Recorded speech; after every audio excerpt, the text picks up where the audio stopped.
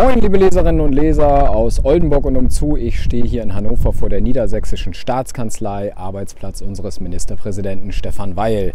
Sie haben uns in der Reihe Der direkte Draht einige Fragen eingereicht. Die stelle ich dem Ministerpräsidenten mal und angesichts des bevorstehenden Weihnachtsfestes frage ich ihn auch gleich mal, ob er schon alle Geschenke beisammen hat.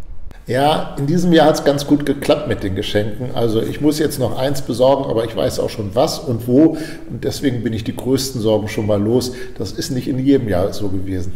Wir haben einige Leserfragen bekommen und steigen auch gleich direkt mal ein mit Gerhard Krutschina aus Oldenburg, der selbst seit 22 Jahren Rentner ist und der uns geschrieben hat, als der Euro eingeführt wurde, wurden unsere Renten auf kaltem Wege fast um die Hälfte reduziert. Das Argument, dass ja auch alle Preise entsprechend angepasst würden, ging auch ins Leere. Die Renten sind letztlich nur in geringem Maße verschwindend angepasst worden. Sozusagen ein Augentropfen. Jetzt die Frage an Sie.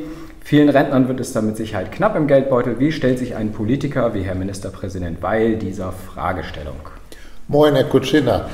Nichts für ungut, aber da erlaube ich mir ein Fragezeichen, denn bei uns in Deutschland sind die Renten, also die gesetzlichen Renten, ja angepasst an die Gehalts- und äh, die Lohnentwicklung. Äh, das war auch bei der Umstellung von Euro, von D-Mark auf Euro so. Und ich habe eigentlich von damals ehrlich gesagt nicht in Erinnerung, dass äh, von Seiten der Rentnerinnen und Rentner da eine besondere Beschwerde gekommen ist. Das andere Thema mit den Preisen, das war damals in der Tat eines. Aber seitdem sind eine Menge Jahre vergangen und gerade in den letzten zehn Jahren stellen wir durchaus einen deutlichen Kaufkraftzuwachs bei den Rentnerinnen und Rentnern fest, im Durchschnitt wohlgemerkt. Die sind nämlich pro Jahr im Durchschnitt um fast drei Prozent gestiegen, im Osten übrigens noch ein bisschen stärker als im Westen, sodass wir aber doch einen entsprechenden Kaufkraftzuwachs bei den äh, Rentenbeziehern haben. Was Sie allerdings ansprechen mit den schmalen Renten am Ende Ihrer Frage, das ist natürlich richtig. Das hängt in der Tat auch damit zusammen, dass viele Menschen im Laufe ihres Erwerbslebens leider nicht viel Geld verdient haben. Und dann ist am Ende tatsächlich die gesetzliche Rente auch ziemlich knapp. Und deswegen ist, glaube ich, eines der wichtigsten Themen, das wir in der Politik in den nächsten Jahren haben werden, wie machen wir die Rente zukunftssicher, aber vor allen Dingen auch, wie sorgen wir dafür, dass die Menschen im Ruhestand dann immer noch wirklich wirklich vernünftig und gut leben können. Herr Baumann aus Hude, Ulf Baumann, dem geht es auch ums Geld und der hat uns geschrieben, Niedersachsens Steuereinnahmen sprudeln. Da liegt er sicherlich nicht ganz verkehrt. Und schreibt uns dazu, gleichzeitig findet das Land nicht genügend Bewerber für den Polizei- und Schuldienst, weil hier in Niedersachsen die niedrigsten Gehälter und keine Gratifikationen bezahlt würden. Weshalb zahlt das Land den Polizisten und Lehrkräften bei üppig gefüllten Kassen nicht als Anreiz und Anerkennung ein Weihnachts- und Urlaubsgeld und erhöht einfach die Gehälter? Hm. Das sind jetzt verschiedene Themen in einer Frage zusammen. Fangen wir mal mit den Lehrerinnen und Lehrern an.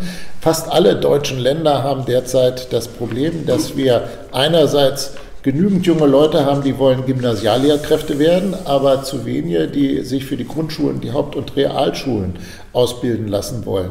Und da wird jetzt in der Tat auch in Niedersachsen eine Diskussion darüber geführt, ob die Absolventinnen und Absolventen, die inzwischen genauso lange studieren wie die Gymnasialen, ob die in Zukunft mehr Geld kriegen werden. Ich denke, im nächsten Jahr werden sie da von der Landesregierung auch eine klare Position dazu kriegen. Bei der Polizei ist es so, dass wir vor allen Dingen derzeit versuchen, einem Grundübel nach und nach beizukommen. Das besteht nämlich darin, dass wir so einen ungünstigen sogenannten Stellenkegel bei der Polizei haben. Was heißt, dass auch wirklich sehr gute Polizeibeamte viel zu selten befördert werden im Laufe ihres Berufslebens. Wir versuchen das durch Stellenhebungsprogramme tatsächlich auch nach und nach in den Griff zu kriegen. Und drittens gibt es auch wiederum, insbesondere von der gewerkschaftlichen Seite her, die klare Forderung, es muss wieder eine Sonderzahlung ein Weihnachtsgeld her. Äh, das hängt damit zusammen, dass naja, vor etwa naja, 13, 14 Jahren dieses Weihnachtsgeld abgeschafft wurde. Ich bin nicht sicher, ob wir an dieser Stelle wirklich zu einem, zu einem guten Ergebnis gelangen, aber auch das ist derzeit im Gespräch. Und wenn Sie weiter in der NWZ intensiv lesen, dann werden Sie sicherlich im Laufe der nächsten Monate mitkriegen, wie sich das weiter entwickeln wird. Und ich wünsche allen Leserinnen und Lesern und Zuschauerinnen und Zuschauern der NWZ schöne Weihnachten und einen guten Rutsch. Machen Sie es gut. Tschüss.